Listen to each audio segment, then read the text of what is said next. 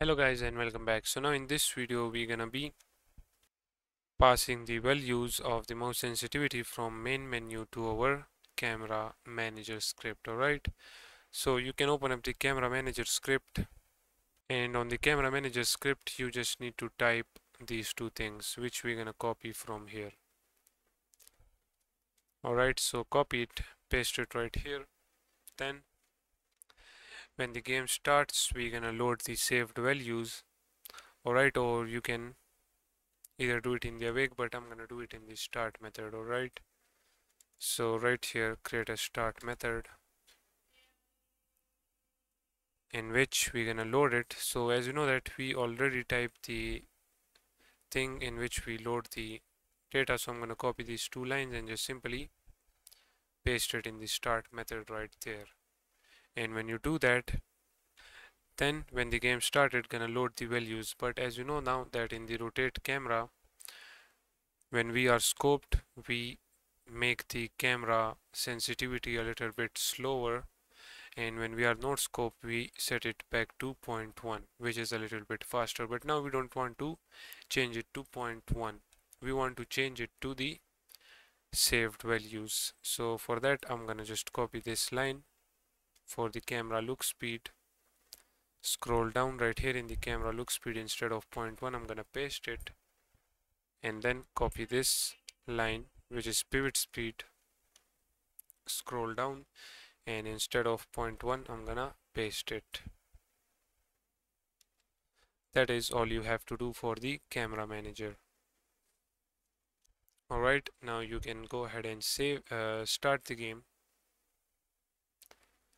click on option controls let's make the mouse sensitivity as uh, 0.1 but we actually don't want it uh, 0.1 we want it something in the middle let me check it. If you click on main menu then all options then controls here it is.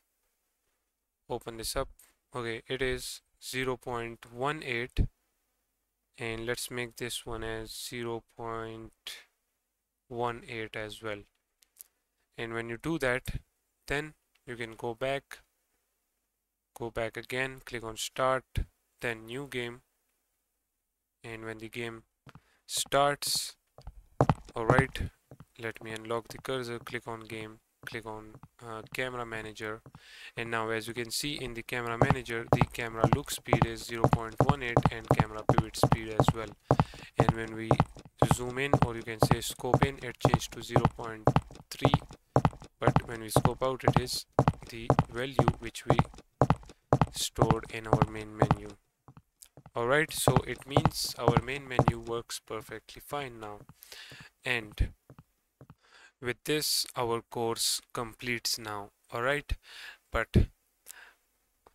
I have a task for you guys and that task is to add a pause menu to this game alright? For example using the escape button whenever uh, you the uh, you guys are playing the game I want you to add the pause menu using the escape button. So you can set up the escape button uh, but uh, let me show you in the scripts then controls.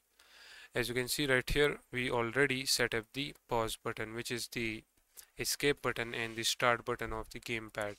So it is already set up. Now I want you to do is using this pause uh, button I want you to create a pause menu UI and then in that pause menu UI create two buttons. The first one is to resume the game and the second one is to get back to the main menu and make that button workable alright? That is a task for you guys so make sure that you complete it and let me know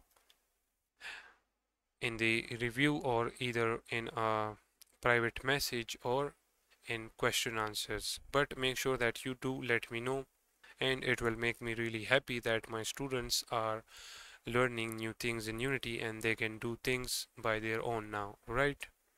So with this done see you guys in some other course